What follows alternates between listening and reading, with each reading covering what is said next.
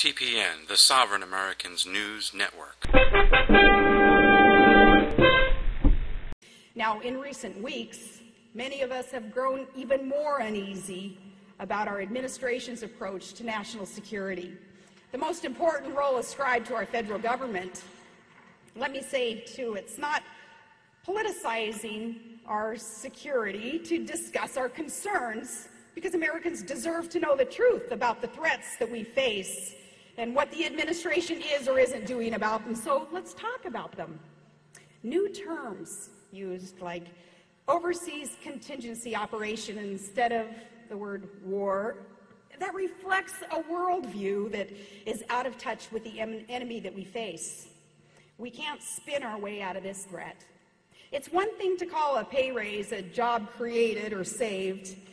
It's quite another to call the devastation that a homicide bomber can inflict a man made disaster. And I just say, come on, Washington, if nowhere else. National security, that's one place where you got to call it like it is.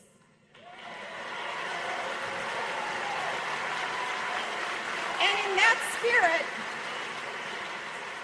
in that spirit, we should acknowledge that on Christmas Day, the system did not work. Abdulmutallab passed through airport security with a bomb, and he boarded a flight hell bent on killing innocent passengers. This terrorist trained in Yemen with Al Qaeda. His American visa was not revoked until after he tried to kill hundreds of passengers. On Christmas Day, the only thing that stopped this terrorist blind luck and brave passengers. Really, it was a Christmas miracle, and that is not the way that the system is supposed to work.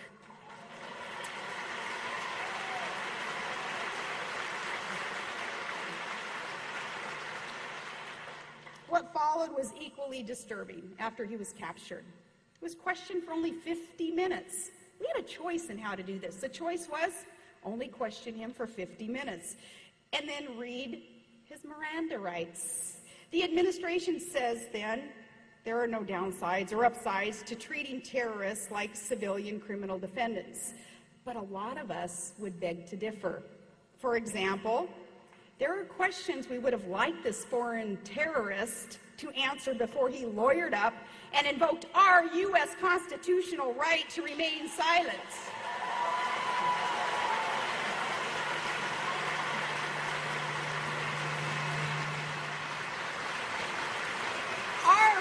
U.S. constitutional rights.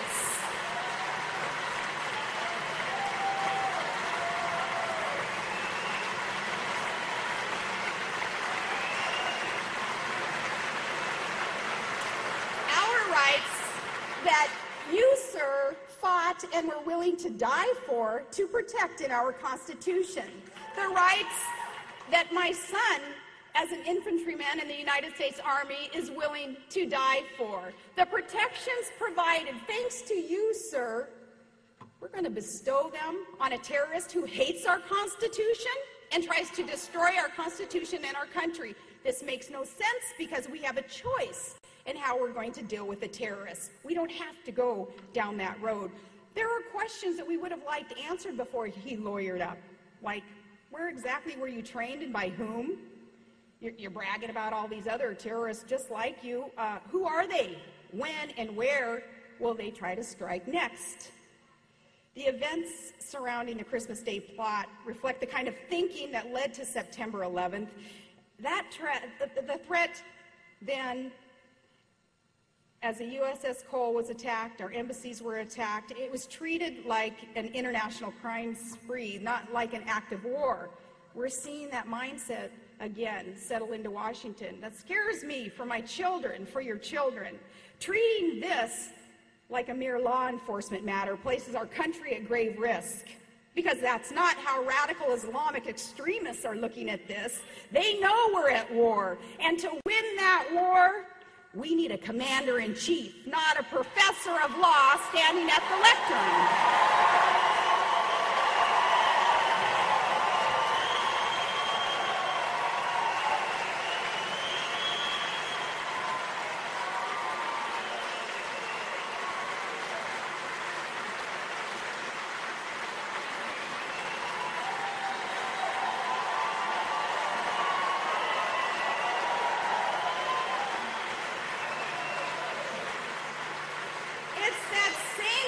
Of misguided thinking that is seen throughout the administration's foreign policy decisions.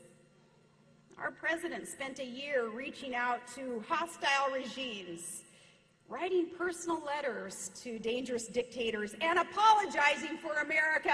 And what do we have to show for that? Here's what we have to show. North Korea tested nuclear weapons and longer range ballistic missiles. Israel, a friend and a critical ally, now question the strength of our support. Plans for a missile defense system in Europe They've been scrapped. Relations with China and Russia are no better. And relations with Japan, that key Asian ally, they're in the worst shape in years. And around the world, people who are seeking freedom from oppressive regimes wonder if Alaska is still that beacon of hope for their cause. The administration cut support for democracy programs. And where the president has not been clear I ask, where is his clear and where is his strong voice of support for the Iranians who are risking all in their opposition to Ahmadinejad?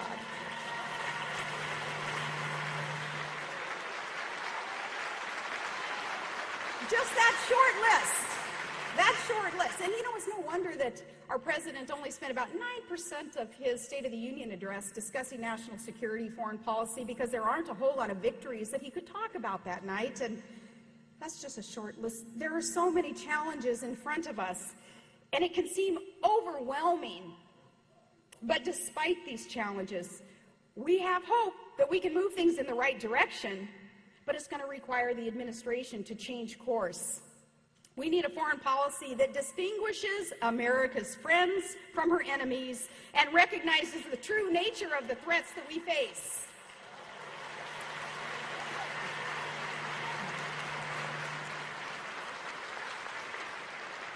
We need a strong national defense.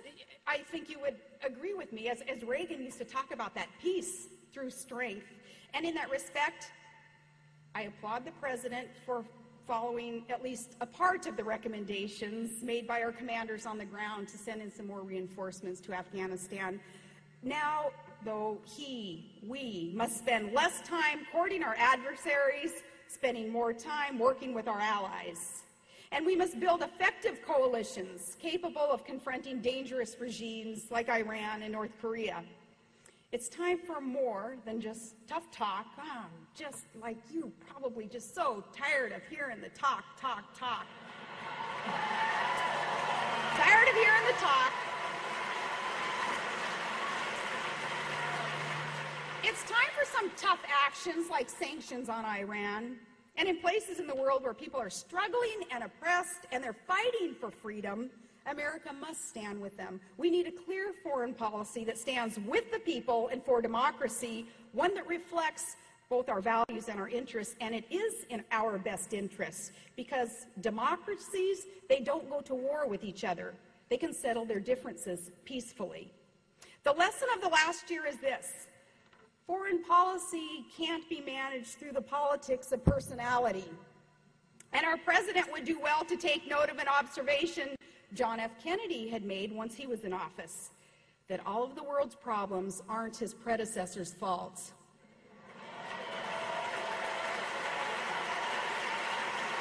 TPN, the Sovereign Americans News Network.